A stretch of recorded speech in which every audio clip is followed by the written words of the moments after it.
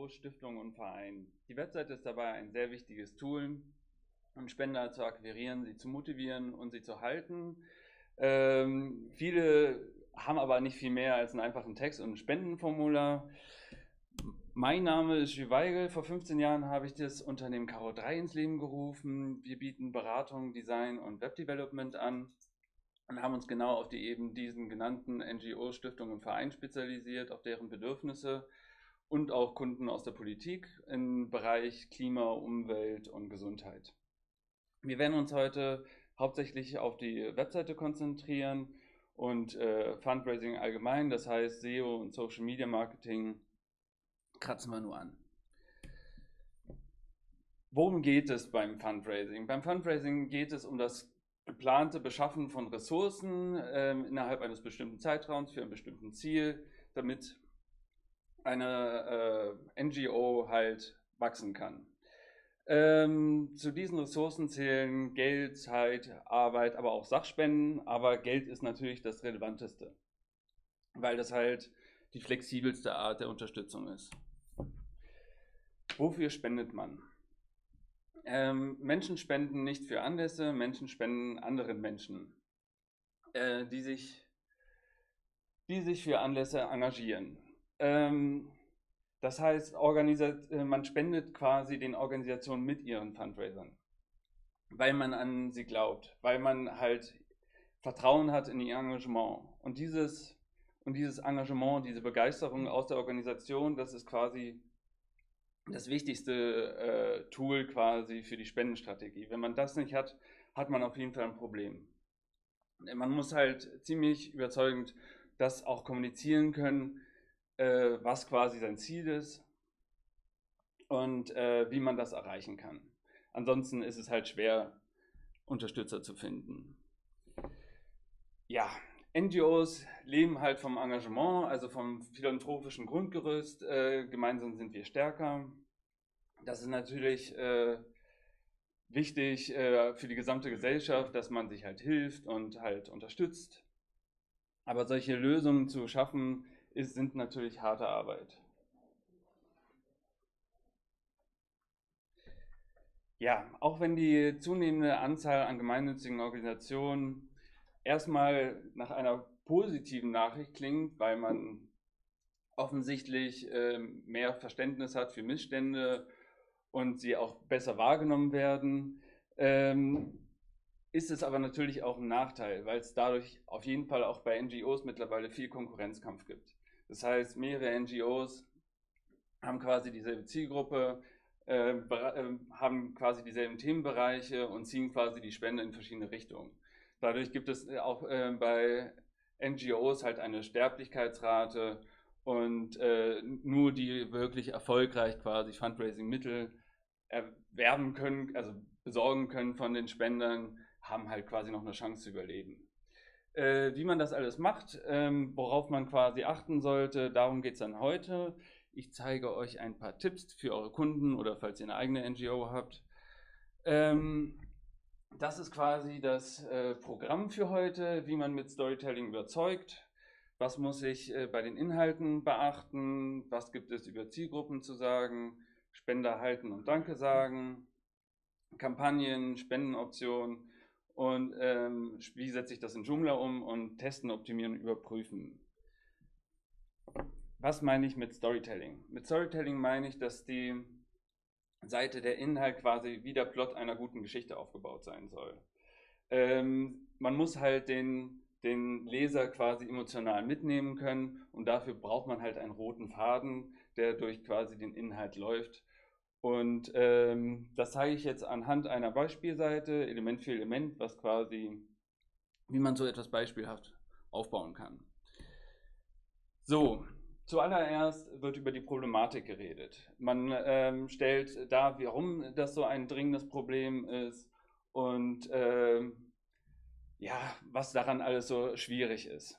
Ähm, dazu benutzt man dann noch zusätzlich Fotos, um die Situation emotional aufzuladen. Hier im Beispiel halt eine Katze, die hungrig ist, die zu wenig Aufmerksamkeit bekommt und deswegen sich halt auf den Computer schmeißen muss.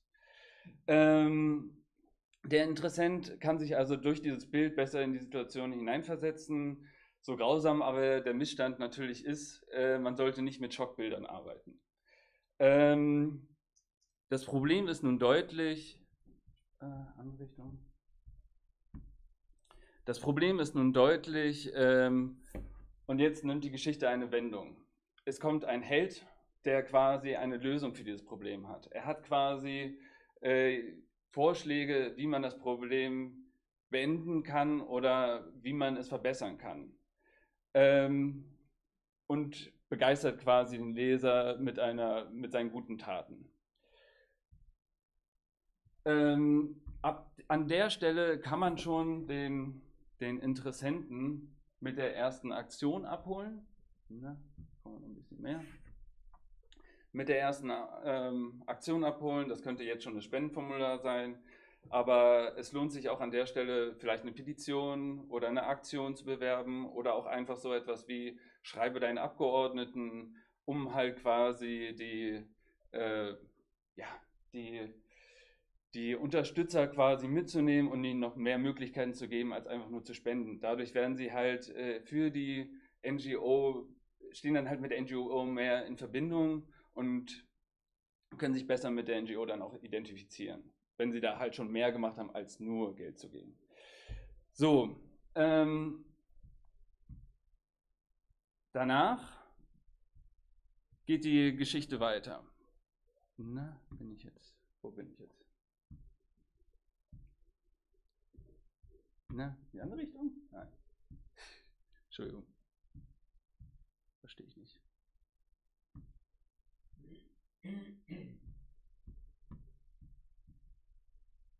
Bin ich doof? Na gut. Ähm, ja. Nun geht die Geschichte halt weiter, es äh, werden verschiedene äh, Wendungen aufgezeigt, äh, die sind halt auch wichtig, um zu zeigen, okay, äh, der Held, die NGO, hat schon mehrere Erfolge in dem Bereich gemacht. Und ähm, ähm, es gibt dann halt verschiedene Handlungsstränge schon, in die man auch näher reintauchen kann und auch sich vielleicht für diesen Handlungsstrang selber engagieren kann. Ähm, als nächstes lohnt es sich, ähm,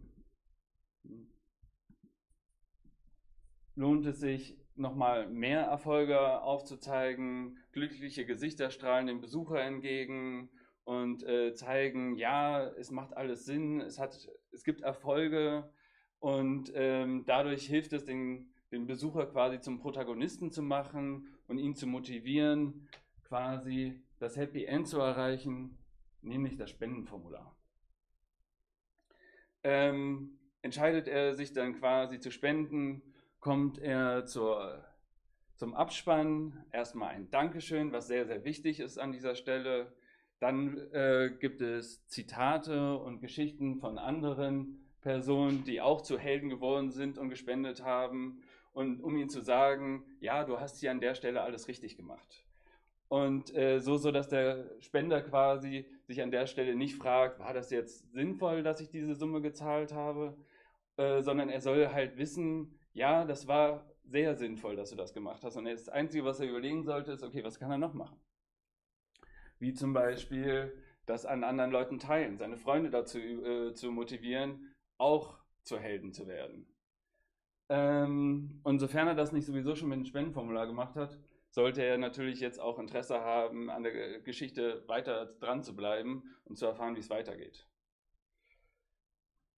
Ähm, hat er einen anderen Verlauf genommen und ist quasi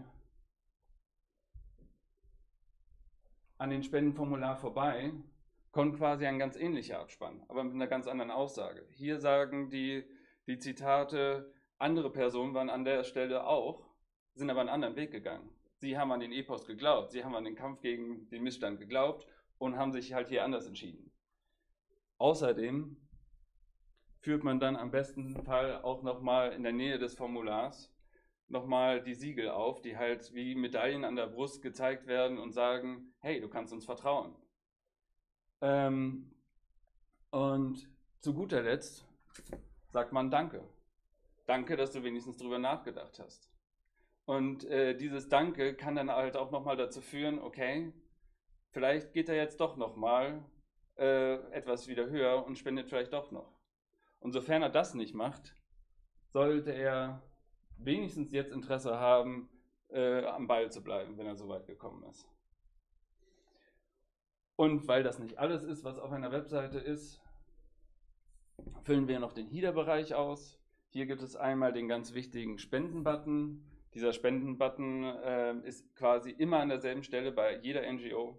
Er ist immer oben rechts in der Ecke, immer groß ähm, und ist halt, führt halt zu einer Seite, die dann oftmals ein abgespecktes Menü hat ähm, und halt keine Ablenkung mehr hat. Also es ist quasi nochmal eine zusätzliche Spendenseite.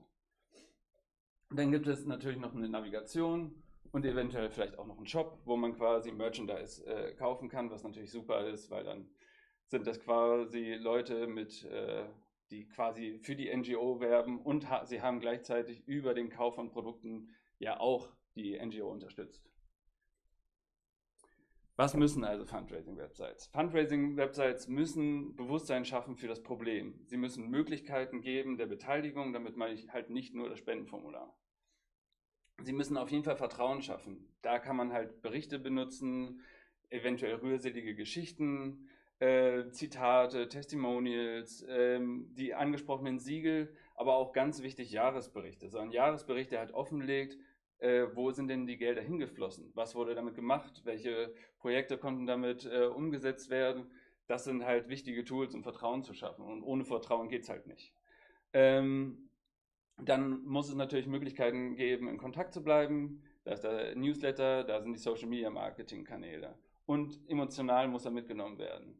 Also Bilder und Videos, die dementsprechend passen. Ähm, was kann man bei Fund, zu Fundraising-Texten sagen? Sie müssen natürlich authentisch und emotional sein, das ist klar. Wie schon gesagt, schockiere nicht, sondern bewege den Leser.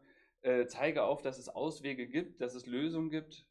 Ähm, und ähm, wenn man quasi eine rührende Geschichte hat in seiner NGO, sollte man die auf jeden Fall auch mitverwenden. Und also irgendeine kleine Anekdote kann halt helfen, den Interessenten zu erklären, warum das alles so wichtig ist.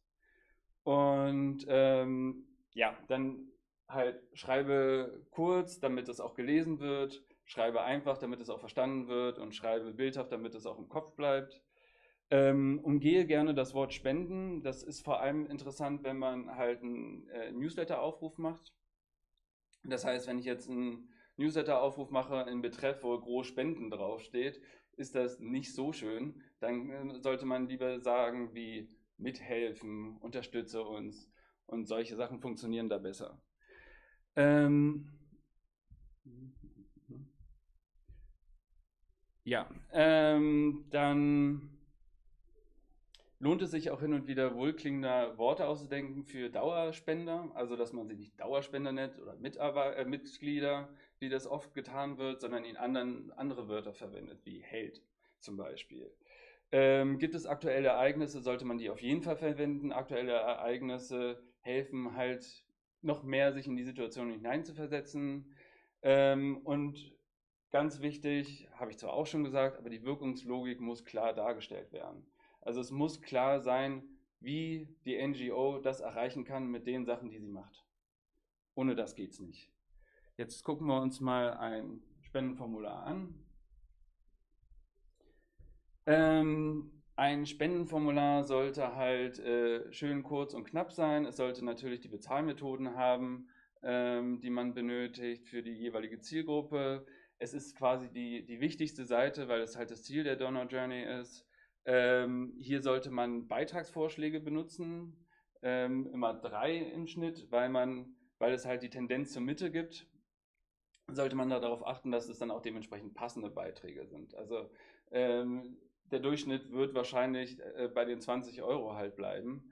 Und ähm, deswegen ist es sinnvoll, hier eine passende Spendensumme zu nehmen, als auch eine Summe zu nehmen, die realistisch ist. Ne? Also wenn ich jetzt, äh, keine Ahnung, irgendetwas Kleines äh, nur mache und ähm, habe da quasi 100 Euro in, der, in den mittleren Kassen und der zwei, äh, dritte Kassen sind dann 300 Euro, das wird wahrscheinlich weniger gut funktionieren. Ähm, dann braucht man natürlich auch das äh, Feld für den eigenen Beitrag.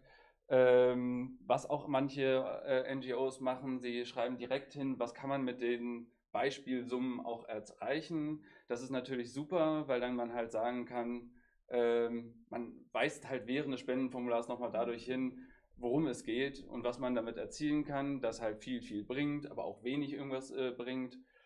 Ähm, und ähm, Formulare, Spendenformulare sind in der Regel eigentlich in mehreren Schritten aufgebaut, damit sie halt erstmal einfach sind und man erstmal anfängt, äh, sie auszufüllen. Ähm, das heißt, diese ganzen Formularfelder für die Adresse, für die Spendenquittung, Dank, äh, für die Datenschutzerklärung, das befindet sich halt alles im zweiten Schritt. Sollte es mehr als zwei Schritte gehen, sollte man dann anfangen, aber auch es anzuzeigen, wie viele Schritte es sind, sonst sind sie irgendwann gefrustet. Ähm, so, dann gucken wir uns mal Statistiken zu Zahlmethoden an. Hier sehen wir, der Großteil spendet über PayPal, aber der, auf der rechten Seite sieht man halt, die äh, sind aber auch die kleinsten Summen, die über PayPal reinkommen. Dafür sind SEPA-Listschriftverfahren halt besonders ähm, erfolgreich mit höheren Summen. Das liegt halt daran wahrscheinlich, dass äh, die äh, jüngeren Menschen eher PayPal benutzen und noch nicht so viel Geld haben. Ähm, die Statistik ist leider etwas älter. Ich weiß aus eigenen Erfahrungen aber, dass die Kreditkartenbezahlungen äh, bei, nach meiner Erfahrung auf jeden Fall zurückgegangen sind. Also ich glaube, das sind nicht mehr 19 Prozent, das wird weniger sein mittlerweile. So, Zielgruppen. Nur wer seine Zielgruppe gut kennt, kann halt optimal sie ansprechen, ähm, sich dafür halt Zeit zu nehmen und wie schon in anderen Vorträgen heute gehört, Personas dafür zu erstellen, ist äh, besonders wichtig, ähm, um sich halt besser in die Zielgruppe hineinversetzen zu können, als auch quasi seine Inhalte nochmal damit überprüfen zu können, ob das so passt. Ähm, da das aber jetzt den Zeitrahmen sprengen würde, gucken wir uns hier wieder nur die Besonderheiten im Thema Fundraising an. Fangen wir mit der jüngeren Zielgruppe an. Das ist jetzt äh, eine Seite, die eine jüngere Zielgruppe ansprechen möchte. Das erkennt man relativ einfach an dem Logo, aber auch an der Farbgebung oder den schicken Bildern. Ähm, bei jüngeren Zielgruppen hat man halt die Problematik, äh, dass jüngere Zielgruppen nicht ganz so beständig sind und halt äh, öfter nochmal ihre Organisation, für die sie Geld wechseln. Außerdem haben sie in der Regel halt noch nicht so viel Geld und spenden halt kleinere Summen. Aber der Vorteil einer jüngeren Zielgruppe ist, sie ist halt besonders aktiv im Internet und man kann sie dementsprechend recht gut in Social Media Kanälen halt abholen. Jetzt hier in dieser äh, Facebook-Seite von Sea Shepherd ist halt dann auch äh, wieder interessant zu sehen. Hier haben sie dann auch, auch wieder Merchandise, wo man quasi auch über das Kaufen von Produkten unterstützen kann. Bei kleinen Organisationen sind ist, sind die jüngeren Zielgruppen relativ wichtig. Ähm, Im Schnitt kann man sagen, 50 Prozent der Spendeneinnahmen bei äh, kleineren Organisationen kommen von jüngeren Zielgruppen. Ähm, das heißt, hat man eine kleine Organisation, sollte man wahrscheinlich auf die Jüngeren achten. Geht man zu einer etwas älteren Zielgruppe, ähm, kann man davon ausgehen, dass sie pauschal gesagt halt, wie gesagt, mehr Geld haben. Äh, jede dritte Person in Deutschland spendet Geld. Äh, laut einer Statistik sind Spenden unter 40-Jährige im Schnitt pro Jahr 290 und über 65 pro Schnitt im Jahr 860 Euro. Da sieht man mal den gewaltigen Unterschied. Wenn man also sich für eine ältere Zielgruppe entscheidet oder das Thema dazu passt, man kann es ja nicht frei entscheiden, ähm, kann man dementsprechend mit höheren äh, Summen rechnen. Ähm, was man hier an dieser schönen Seite sehen kann, wieder, wir haben die emotionalen Bilder, die aber nicht schockieren. Wir haben wieder oben den, den markanten Button. Wir haben, wenn man jetzt hier runter scrollt, haben wir quasi den Akkordeon-Effekt, wo, wo man dann nochmal sehen kann, dass selbst 50 Cent pro Tag da etwas äh, bewirken kann. Und das, was ich vorhin auch schon gesagt habe, mit den schöneren Wörtern, hier reden sie von Patenschaften und Chancengebern anstatt von Mitgliedern. Und das klingt natürlich sehr viel schöner. Ich sage sehr viel lieber, ich bin Pate oder ich bin Chancengeber, als ich bin Mitglied. Das hat natürlich eine ganz andere Wirkung.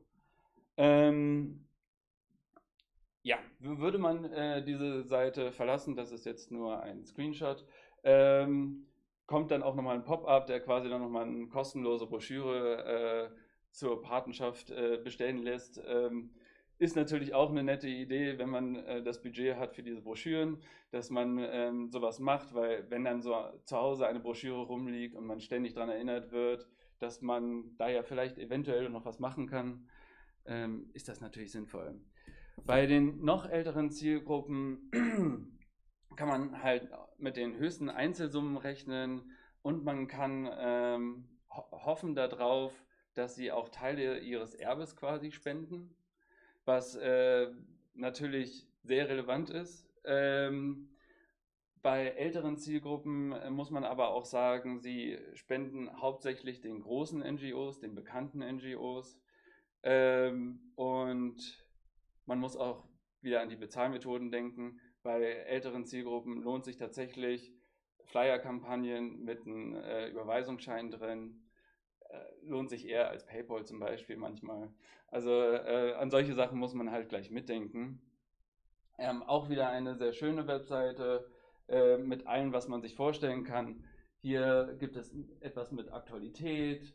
Hier werden auf die verschiedenen Spendenmöglichkeiten hingewiesen, noch mehr Aktualität. Äh, die Zitate, die, die quasi darauf hinweisen, dass andere das auch getan haben ähm, oder was sie da erlebt haben. Hier haben wir ein äh, Newsletter-Formular, hier noch mehr Belege für ihre gute Arbeit und am Ende kommen dann halt die üblichen Siegel. Ähm, also die, die ganze Seite ist quasi gut optimiert darauf, ähm, zu sagen, äh, ihr könnt uns vertrauen mit euren Spenden. Äh, guckt man sich die Zielgruppe spezifisch an, vom Thema her, ähm, sieht man hier, humanitäre Hilfe ist das Hauptthema, für das gespendet wird, auch immer noch heute. Ähm, also das ist, glaube ich, eine Statistik von 21. Ähm, aber auch Tierschutz ist natürlich ein wichtiges Thema, äh, für das auch mittlerweile immer mehr gespendet wird. Ähm, umso spezifischer das Thema ist, umso schwieriger ist es natürlich, Spender zu finden, die passen. Ähm, aber umso mehr hat man auch dann wiederum die Chance, dass es treuere Spender dann am Ende werden. Nun kommen wir zu dem wichtigen Bereich Spender halten und Danke sagen, wo sehr viele leider schwächeln. Ähm, ein überzeugendes Danke direkt nach der Spende ist absolut wichtig. 80 Prozent, äh, also eine Faustregel sagt, dass 80 Prozent der Spender halt für 20 Prozent des Spendenvolumens sorgen und umgedreht 20 Prozent der Spender für 80 Prozent des Spendenvolumens sorgen. Und da sieht man halt, wie wichtig es ist, dann auch die Spender auch halten zu können ähm, und Spender glücklich zu machen. Ähm, als erstes ist natürlich die Danksagung, also das Dankschreiben meistens per äh, E-Mail und vielleicht auch nochmal zusätzlich per Papier ähm, in, beinhalten sollte, ist halt die, das Danke, ähm, eine Begrüßung quasi in der Organisation, ähm, damit auch eine Zugehörigkeit vermittelt wird. Äh, Sie sollten da Ihren Ansprechpartner kennenlernen und äh, verschiedene Möglichkeiten für die Zukunft auch aufzeigen. Man sollte ein äh, schönes Foto oder noch besser ein schönes Video vom Team mitliefern, wo es dann quasi sich persönlich im Video bedankt dafür.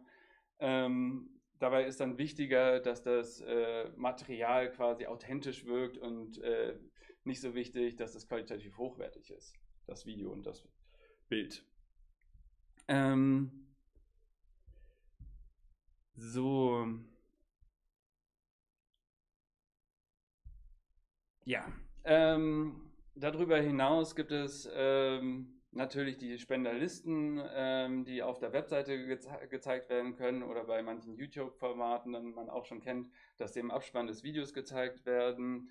Äh, bei Großspendern lohnt es sich da auch noch mal ein bisschen mehr zu investieren, sie natürlich persönlich anschreiben, äh, ihnen äh, vielleicht mal eine besondere Veranstaltung für Großspender organisieren. Ähm, dann gibt es natürlich die, die Plaketten, die äh, die, die dann irgendwo angebracht werden am Gebäude oder, ähm, oder man bekommt ein, eine Kinderzeichnung von einem Kind, was man quasi unterstützt hat. All das hilft halt, um äh, den Spender am Ende zu halten, ihn zu zeigen, wie, wie seine Spende halt gewertschätzt wird und wie wichtig quasi seine Spende halt war. Ähm, ja, am Ende ist es wie immer äh, wichtig zu sagen, äh, was damit erreicht werden soll. Das ist äh, wiederholt sich immer wieder, äh, damit quasi er halt wirklich auch dieses wohlige Gefühl bekommt, dass er etwas Gutes getan hat mit der Spende. Ähm, es lohnt sich auch, eine Dankesmail nochmal äh, nach ein paar Wochen nochmal rauszuschicken, wo man dann quasi darauf hinweist, was in der Zwischenzeit mit dem Geld passiert äh, ist ähm, und äh, beziehungsweise ähm, ja, was, was in letzter Zeit gemacht wurde. Ähm, Spender sollten auch mal äh, direkt angeschrieben werden oder sie aufgefordert werden äh, zu ihrer Meinung. Das kann über die Webseite halt funktionieren oder über Newsletter. Oder äh, man macht es darüber, äh, gerade bei, also das ist natürlich das Ideale, man schreibt sie direkt an über den Social Media Kanal, dann fühlen sie sich halt gewertschätzt. Man, sie sehen, dass ihre Meinung relevant ist und das hilft halt auch nochmal eine Verbindung zu der Organisation aufzubauen. Ähm, und wie auch vorhin schon gesagt, äh, tu Gutes und rede drüber, ähm, sie aufzufordern ähm, oder ihnen es einfach zu machen, quasi das zu teilen. Die Organisation ist natürlich auch wichtig. Kommen wir kurz zu Newslettern und äh, deren Besonderheiten. Bei Newslettern sollte man nur eine äh, Aktionsaufforderung machen, ähm, die darf man aber gerne öfter wiederholen in dem Schreiben. PS ist äh, ziemlich wichtig, also für mich zumindest, weil das PS halt äh, häufiger gelesen wird als der eigentliche Text.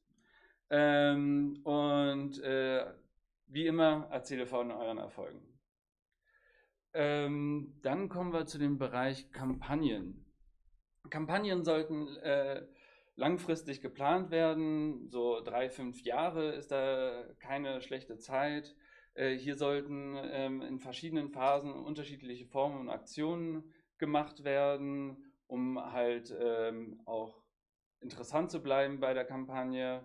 Ähm, dabei ist es halt auch wieder die, die alte Regel, äh, definiere das Ziel SMART, also spezifisch messbar, ausführbar, realistisch und terminiert, äh, damit man am Ende auch sehen kann, ähm, hatte diese Kampagne einen Erfolg?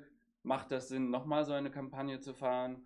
Oder ähm, muss man etwas in der Zukunft ändern? Ansonsten kann man ja die ganze Zeit Kampagnen machen und die bringen nichts und äh, man arbeitet sich nur kaputt.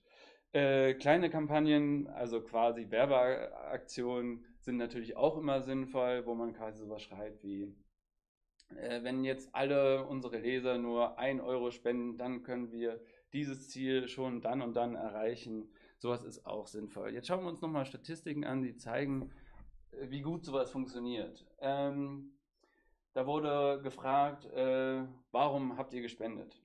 So, und äh, ganze 17,8 Prozent zeigen, äh, sie sind zur Spende gekommen, weil sie einen Spendenaufruf gefolgt sind. Und 4,4 Prozent kann man beinahe auch schon mitnehmen, weil sie haben spontan gespendet, was ich denke, da äh, ist vielleicht auch etwas in der Zwischenzeit gelaufen, weshalb sie spontan auf die Idee gekommen sind, für die NGO zu spenden. Ähm, gucken wir an, woher kamen denn die Spender? Dann sieht man natürlich, Suchmaschinen, SEO ist super wichtig, aber man kann jetzt schwer sagen, vielleicht hatte der, die Person auch einfach nur den Organisationsnamen gegoogelt, äh, weil er nicht wusste, ob es eine de, oder eine org ist und ist quasi dann auch nur ein direkter Aufruf. Ähm, äh, dann haben wir natürlich die Direkteingaben und dann kann man sehen, ganze 11,2% kommen über Social Media Kanäle, bevor sie spenden. Und äh, wenn man hier die Zahlen zusammenzieht, sind das ganze 7,2%, die äh, quasi über Werbeformate wie Werbebanner und Google Ads gekommen sind. Und äh, 2,7% kann man sehen, kommen über E-Mail-Marketing. So, wenn man sich jetzt ähm, anschaut, wo stecken denn die Organisationen ihre Ressourcen rein, dann hier äh, eine Statistik äh, mit verschiedenen Größen von Organisationen. Da sieht man aber, diese 11 Prozent, die ich gerade erwähnt habe für Social Media Marketing, sind hart erkämpft, weil das meiste an ihren Ressourcen stecken sie in Social Media Marketing rein. Ähm, das relativiert so ein bisschen die, die Sache wieder. Ähm, und wenn man dann sich anschaut, welchen Social Media Kanal, dann ist es Facebook. auch hier wieder wahrscheinlich, weil die Zielgruppe, die am relevantesten ist für Spenden, halt sich eher auf Facebook befindet. Ähm, es gibt nicht nur die einfache Spende, sondern es gibt auch noch andere Formen der Spenden. Hier gibt es halt äh, die, die Einzelspenden, die Dauerspenden und so weiter. Wir schauen uns das jetzt hier auch wieder nochmal anhand von Beispielen an. Als erstes schauen wir uns die Navigation vom WWF an. Die Navigation vom WWF ist deswegen ganz nett, weil sie quasi so ein bisschen zeigt, äh, dieses klassische, äh, die klassische Spendenpyramide. Das heißt, wir haben einmal hier in der ersten Spalte den Interessenten, äh, der halt eine einfache Spende macht. Dann haben wir ihn hier zu einer Dauerspende, zu einem Mehrfachspender gemacht. Und am Ende der Pyramide kommen wir hier an äh, zu den Großspenden und am Ende zum Erblasser.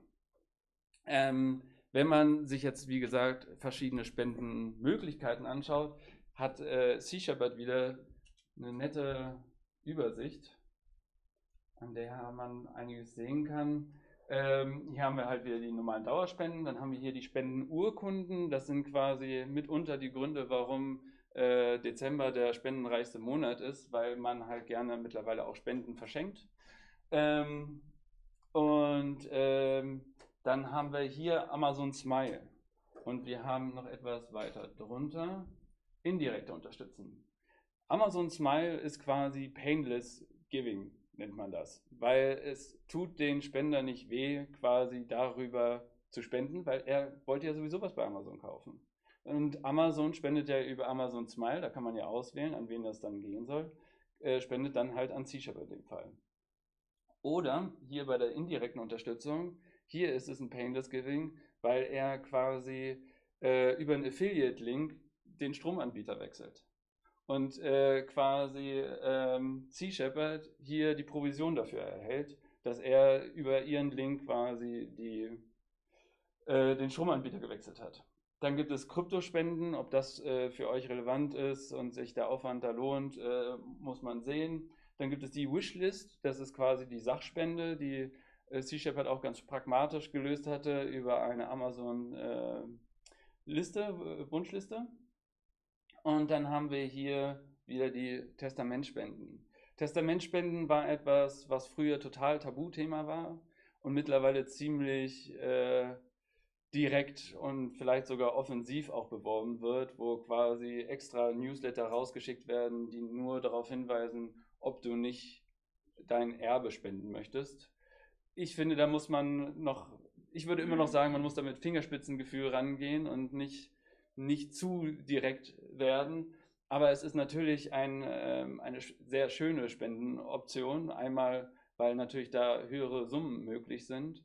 Ähm, aber auch, weil halt der Spender selber halt weiß, okay, über seinen Tod hinaus hat er noch was Gutes getan.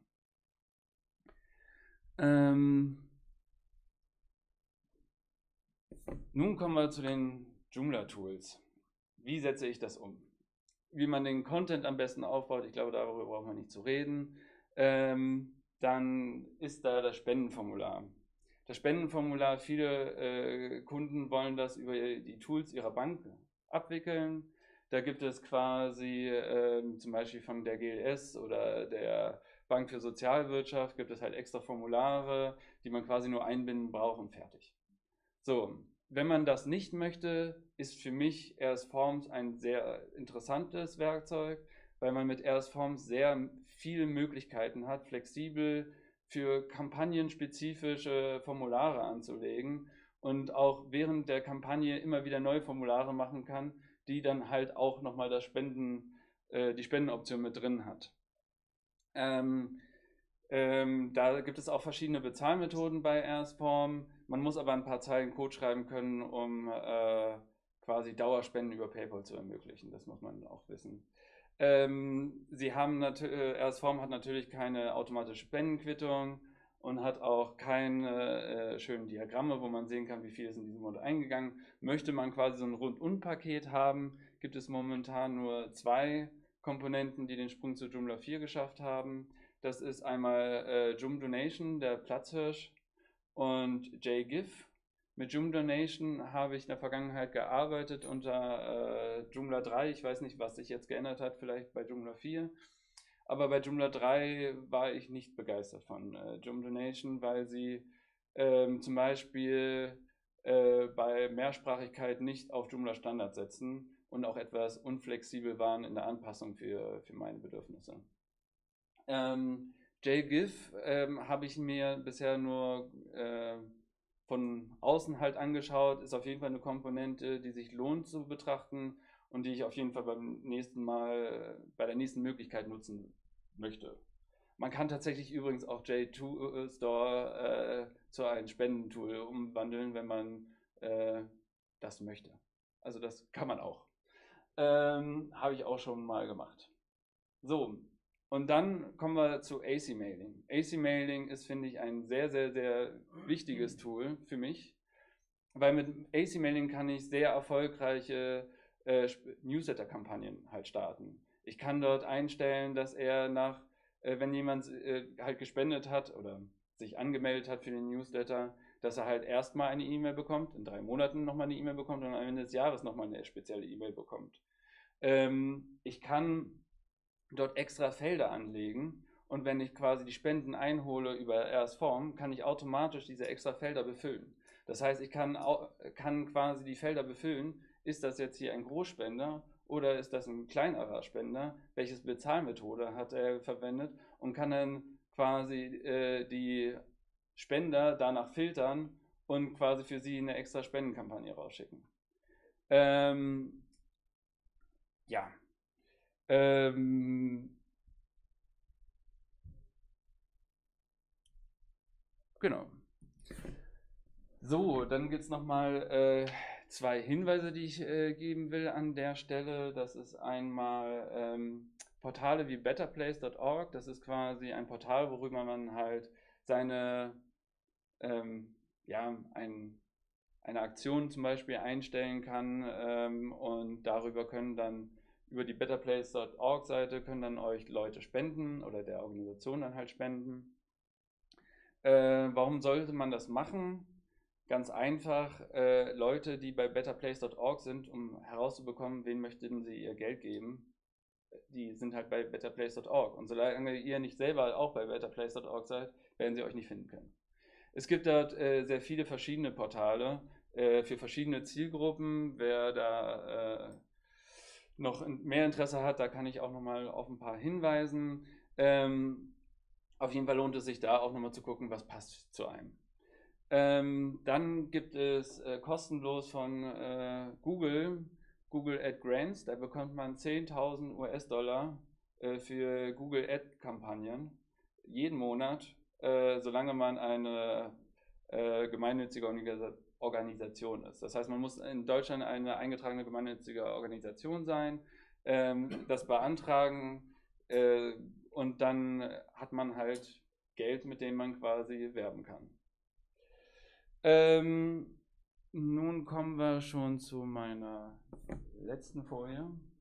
Äh, am Ende bei jeder fertigen Webseite, eine Webseite ist nie fertig. Man sollte immer gucken, was kann ich noch verbessern an einer Webseite? Was kann ich noch testen? Was kann ich noch überprüfen? Wo gibt es noch etwas rauszuholen? Da gibt es äh, verschiedene Sachen, äh, gerade im Thema Fundraising, also da zum Beispiel zu gucken, ähm, welcher Twitter-Tweet wurde mehr geklickt und wie mache ich das? Also natürlich kann ich sehen, ähm, äh, wie viele sind über Twitter gekommen. Aber ihr müsst auch darauf achten, dass ihr quasi diesen Twitter-Tweet ein extra Attribut zum Beispiel hinten ranhängt. Dass ihr quasi, wenn, wenn er dann auf den Banner geklickt hat, auf eure Spendenseite kommt, das Attribut dann, wenn es zum Beispiel erst Forms ist, kann ich das automatisch quasi in ein verstecktes Input reinpacken. Und wenn er dann spendet, kann ich quasi sehen, aha, das war dieser Aufruf. Und dann kann ich halt sehen, welche Aufrufe funktionieren, welche Aufrufe funktionieren nicht. Ähm, dann lohnen sich halt ganz klar normale Statistiken, aber auch AB-Tests sind halt immer sinnvoll. Auch hier wieder AC-Mailing. AC-Mailing bietet AB-Tests halt äh, von Haus aus an. Ähm, dann gibt es halt verschiedene Möglichkeiten. Äh, Wärmebilder komme ich gleich zu. Ja, ähm, AB-Test, ähm, da gibt es verschiedene Möglichkeiten, wie man das in Joomla implementieren kann. Man kann die äh, Banner-Komponente zum Beispiel dafür nutzen, wenn es um einen Aufruf geht. Ähm, aber es gibt halt auch noch, ja, es gibt halt auch noch äh, andere Möglichkeiten, aber die bedeuten dann halt immer vielleicht noch mal ein, zwei Zeilen Code. Äh, zumindest löse ich alles damit, äh, dass ich halt mir selber was schreibe. Ähm, genau, und dann kommen wir jetzt zu den Nutzerverhalten studieren äh, und den Wärmebildern. Ähm, es gibt äh, quasi so Wärmebilder, wo, wo du, also es gibt Tools, äh, du kannst ein Plugin installieren, zum Beispiel bei Matomo. Matomo ist ein Begriff. Da kannst du dann ähm, kannst du sehen, wo war der Cursor besonders viel von dem, äh, von dem Besucher der Webseite und wo hat er viel geklickt. Das heißt, du kannst sehen, wo klickt denn der Nutzer, auf was klickt der Nutzer. Und du kannst halt auch äh, Aufzeichnungen machen, Videoaufzeichnungen machen. Und das ist auch sehr spannend, wenn man quasi sich, an, äh, sich ein paar Dutzend Videos anschaut und sieht, aha, der Besucher stolpert immer über, diese, über diesen Pop-up und findet den Schließen-Button zum Beispiel nicht. Oder ähm, er, ähm, er scrollt an einer bestimmten Stelle und pausiert und scrollt gleich wieder hoch. Dann weiß man, okay, irgendetwas sucht er gerade. Also es lohnt sich, diese, diese Aufzeichnung mal. Ähm, wie bitte? Genau, naja, es ist ja theoretisch alles Usability, worum es heute beinahe geht. Also es ist, ähm, dass man halt guckt, äh, funktionieren halt die Sachen und äh, wie kann man es noch besser optimieren. Ähm, ja, ein anderes Plugin, womit man solche Videoaufzeichnungen machen kann, ist zum Beispiel Hotjar. Ähm, ja, das war's. Möchte ich erstmal mich bedanken für euer Zuhören. Habt ihr noch Fragen? Ja?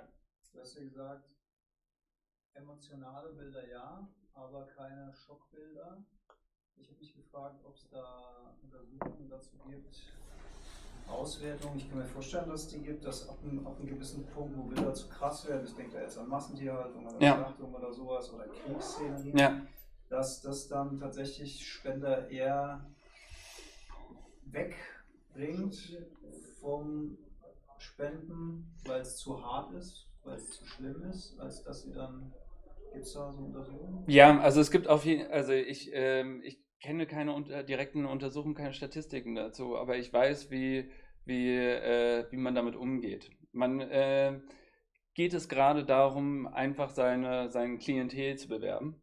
Ähm, benutzt man halt schon eher auch mal Schockbilder und die harten, bösen Fakten. Weil man weiß, sein Klientel, die kennen das. Die, äh, die sind ja gerade ihr Klientel, weil sie sich damit beschäftigen. Und äh, die wollen halt die, die bösen Informationen auch äh, erfahren. Ähm, geht es aber um eine breitere Kampagne, die quasi die Allgemeinheit äh, bedienen soll, dann verwendet man tatsächlich, äh, verwendet tatsächlich dieselbe NGO keine Schockbilder mehr. So dass sie quasi sagen, ähm, ich bin da auch skeptisch, ähm, weil, also ich, äh, es gibt eine Organisation in, in Berlin, die quasi sich in U-Bahn stellt und äh, einen Laptop aufklappt, Train to Change, die dann quasi äh, äh Videos äh, zeigen von Schlachthöfen und dabei Sachen erklären, äh, wie das so abläuft. Und ähm, da kann man schon sehr sehen, dass die dass die Leute können natürlich nicht fliehen, das ist das Praktische in der U-Bahn, ähm, dass sie quasi in der fahrenden In der fahrenden U-Bahn, ja. Und äh, da, da, dass die Leute, äh, es gibt natürlich Leute, die aufstehen und weggehen. So, aber es gibt halt auch äh, sehr, sehr viele Leute und äh, meiner Meinung nach mehr Leute, die davon halt bewegt werden, die dann halt wirklich äh, gerührt sind von, von der Situation, weil sie normalerweise die Sache ja versuchen auszublenden. Und wenn sie damit konfrontiert sind, sehr interessiert sind und dann halt auch nach dem Flyer fragen sogar. Also das, deswegen bin ich immer so ein bisschen skeptisch, ob man nicht auch ruhig ein bisschen ehrlicher und äh, ein bisschen offener mit den bösen Informationen umgehen kann. Aber ich weiß, dass es trotzdem in den großen Organisationen eher so gehandhabt wird. Klientel, die harten, bösen Informationen, breite Mehrheit, äh, eher seichtere Bilder. Wie zielführend ist das, ähm, transparent zu arbeiten, was die Spendensumme angeht? Zu sagen, man hat ein Spendenziel 10.000 Euro und da grafisch darzustellen, wie weit man ist, um das anderen das zu erreichen. Ja, äh, ich, ich bin da tatsächlich sehr vorsichtig bei solchen Sachen, weil es natürlich eine sehr negative Aussage hat, wenn man es nicht erreicht. Deswegen, ähm, sofern man nicht weiß, dass man das auch erreichen kann, würde ich, glaube ich, von solchen Sachen absehen. Weil ähm, es kann natürlich auch, wie, wie bei äh, Wikipedia, dazu helfen zu sagen, naja, äh, jetzt macht mal, ne? wir, wir brauchen noch ein Stückchen. Und auch ähm, äh, Compact hatte auch letztens äh, rausgeschickt, dass sie äh, von diesen Millionen Nutzern, die sie quasi haben, quasi fast äh, keine Einnahmen haben und äh, ein großes Problem damit haben. Also es lohnt sich auch damit tatsächlich offen umzugehen. Ja, mir wird das Endeschild gezeigt. Ich bin auf jeden Fall auch so noch für Fragen zu haben. Ich weiß nicht, ob äh, einfach weitermachen. Um 18 Uhr ist die Veranstaltung nebenan. Okay. Wie spät? 18 Uhr 19 Ah, cool.